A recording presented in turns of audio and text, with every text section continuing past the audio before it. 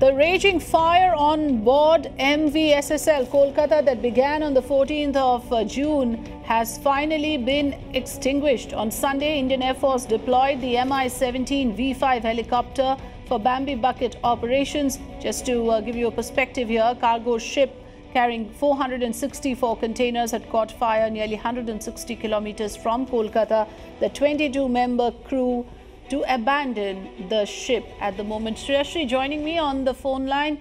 Shreyashri, 22 crew members have been dramatically rescued after four days of operation. It was a massive mission that was accomplished with the fire being finally doused. What's the latest from the ground?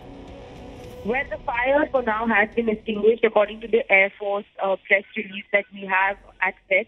Uh, the operations were carried out yesterday with the help of an Mi-75 uh, he- helicopter uh, here close to Kolkata. Now the ship is still uh, docked uh, uh, at the uh, Haldia port, but what we have learned is that the crew, uh, the coast guards are on standby to check whether there are no pollution emergencies because no oil spill has been reported so far because the uh, defense along with the Coast Guards, have managed to extinguish the fire on board that cargo ship, hmm. and all the crew members have been rescued.